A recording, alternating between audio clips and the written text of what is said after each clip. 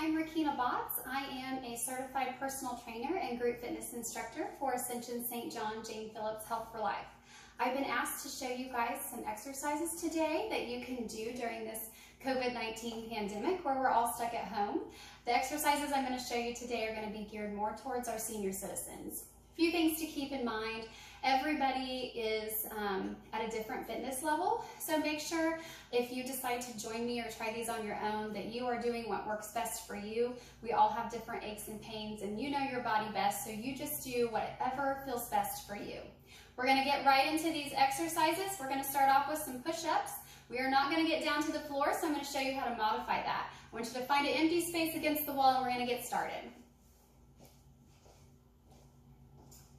All right, hands are gonna be up against the wall, about shoulder height, just past shoulder width apart. You wanna pull your belly button into your spine and we're just gonna go down towards the wall and you're gonna push yourself back out.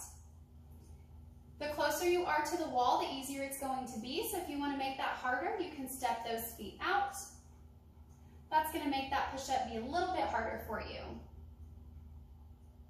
All right, moving into our back, you are just going to stand up nice and tall against the wall. We're going to work on posture here. You might be surprised how hard it is just to get those shoulders back against the wall. Stand up nice and tall here. We're going to go into some wall angels. We're to take those arms up over our head, Pull that down, squeeze those shoulder blades, and take it back up. Now, if that bothers your shoulders, then I'm going to show you a modification. So all you have to do here is just pull those shoulders back, squeeze those shoulder blades, and release. A lot easier on the shoulders, but we're still working on our posture, still contracting those back muscles. All right, we're going to come around and have a seat in a chair. This time we're gonna focus on our biceps.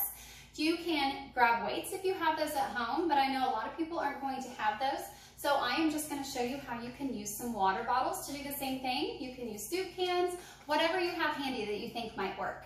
So we're gonna sit up nice and tall, elbows into your side. We're gonna curl this up and take it back down.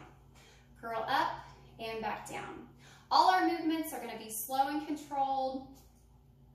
I'm only doing a few repetitions for time's sake today, but at the end of the video, I'm gonna give you a little more guidance on how many reps you should do, how often you should do these, and all that good stuff. All right, we're gonna go into some triceps. So we're gonna set one of those down and just turn to the side so that you can see a good view here. Elbow's gonna stay stationary as you push that weight back and bring it in. Work in the back of your arm here. Again, we don't wanna be throwing that around. Okay, so this is one of those muscle groups that everybody wants to know. How can I tone that up a little bit more? All right, so we wanna make sure that we're doing it the right way. Okay, let's switch to the other side. If you do it on one side, we wanna make sure that we get the other side as well. All right, very good. We're gonna go right into some sit to stand for our lower body. So for this, we just wanna cross those hands over our chest your feet are gonna be about shoulder width apart. We're just gonna stand up out of your chair and sit back down. So if this is too much for you, you can do just a basic squat. What we wanna make sure is that you're still pushing those hips back and you're sitting back into it and that you're not pushing those knees forward. Putting all that pressure onto your knees is not good. So we wanna make sure that you're still sitting back into it. Those knees don't go out over your toes. All right, very good.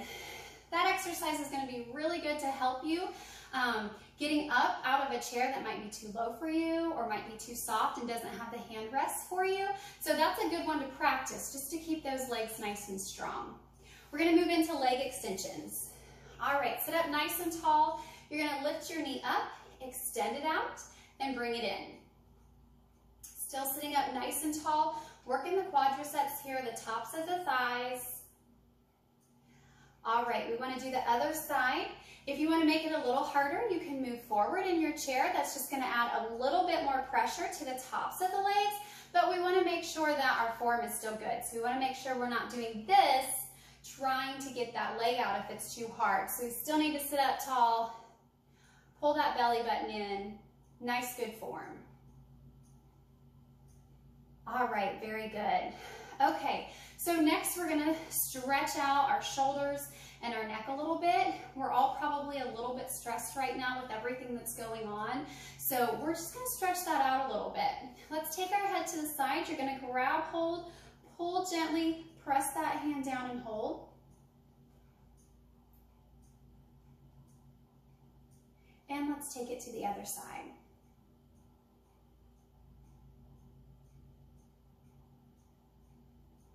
All right, good job. Let's just look over our shoulder. Other side.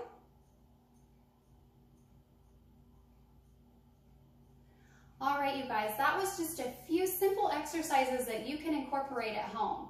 So it's really important to add some of these into your daily routine if you're not already. Make sure that you're getting some type of physical activity in a day. If you aren't doing anything right now, start small, maybe just five minutes, that's all right. Um, try to build up, build up to 30 minutes if you can. Um, I try to encourage you to walk. If you have an area outside where you're able to get out and walk, especially today's a beautiful day outside, there's sunshine and we know we need it, right? That's gonna help us, help our attitudes and our moods. So get outside and walk if you can. If you're not able to get outside, then I would encourage you maybe while you're watching TV during the commercials to incorporate some of these exercises that I've just shown you. I don't know if you're like me, but with everything that's going on, it is a little bit more stressful and it adds a little bit more anxiety to our um, lives. And so anxiety can bring depression, which um, exercise really helps with anxiety and depression and stress. For me, exercising really helps my mood. So if I'm not in a very good mood, then um, a lot of times I'll just get up and do a nice little workout and it kind of works out my frustrations and makes me feel better. So it's a good idea to incorporate some of these things in just to try to keep your physical health up, not just um, for the exercise aspect of it, but for our mental health as well.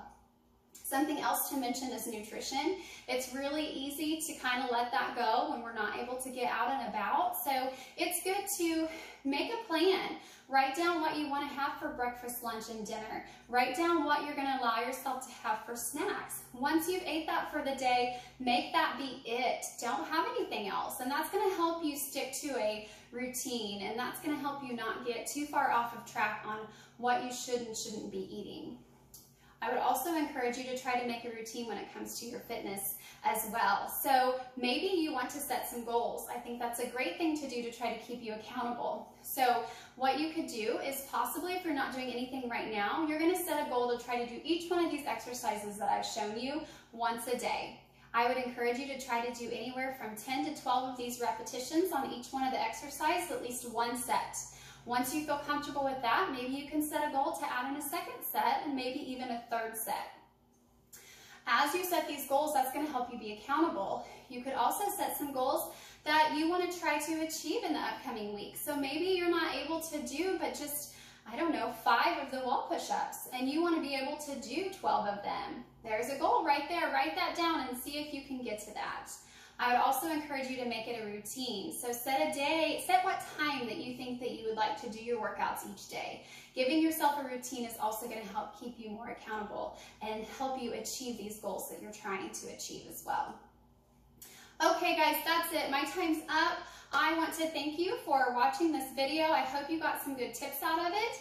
Um, hopefully soon we are going to be all out and amongst each other. I definitely miss seeing everyone and um, being able to just go out and do what we do, right? So anyways, until then, I want you guys to stay safe and be well.